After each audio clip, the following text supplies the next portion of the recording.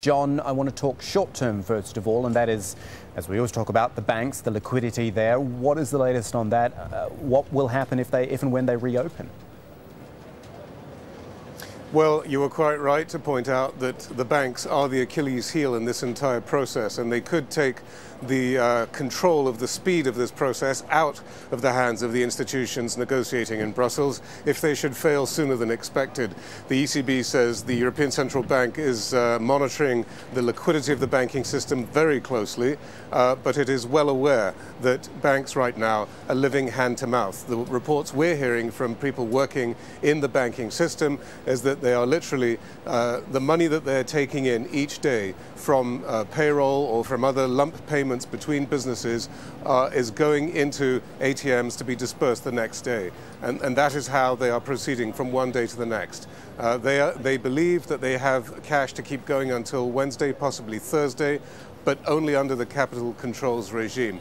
Uh, and it's unclear what would happen beyond that point if there weren't a resolution in Brussels and the European Central Bank decided not to release further liquidity assistance. I think opening uh, on a normal basis would then be impossible for them. But what the situation would be, what sort of a regime they would go to, is very difficult to predict right now.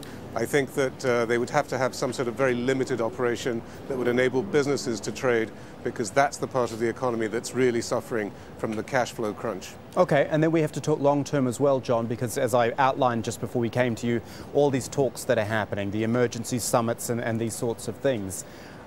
Let's look at it from the Greek perspective, I guess. What do that's they have right. to take to Europe?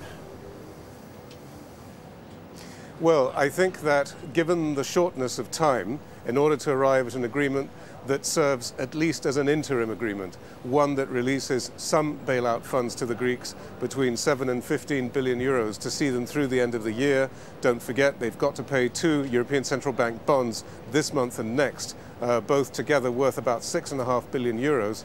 Uh, an agreement, even of that limited nature, uh, would, uh, would at least relieve right now the pressure uh, that's uh, on all sides regarding the possibility of a Greek exit from the Eurozone.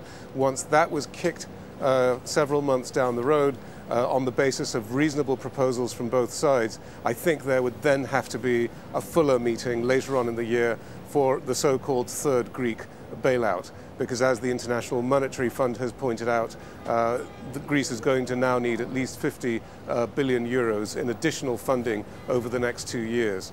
Now, uh, to get to that point, to get to this interim agreement this week, you've got to have an agreement of attitudes on both sides. And just how far apart the Greeks and the creditors may be is indicated by two front pages in today's Greek press. This is an austerity-friendly newspaper showing the party leaders meeting yesterday to hammer out a national position.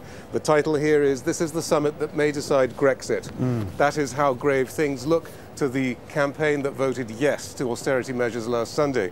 This newspaper is the official mouthpiece of the ruling left-wing Syriza party, and it says the ball is now in the creditors' court, considering that Greece has nothing more to say after that big no to further austerity. This, of course, is also very far from the truth. Greeks do have to sit down and talk about things that will be painful, and I think most people here are aware of that, Kamal. Most people have said to me, we've got difficulties ahead whichever way we, we vote. Thank you, John Psaropoulos, for that update on the Greek situation from Athens.